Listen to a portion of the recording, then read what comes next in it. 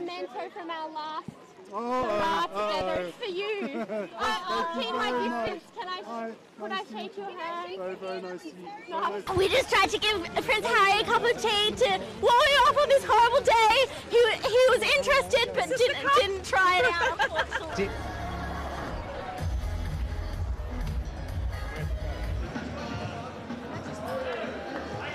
because uh, you've got so many people that want to be involved. Thank, thank you very much. Uh, in just over a year, the Invictus Games will be here on your doorstep in Sydney.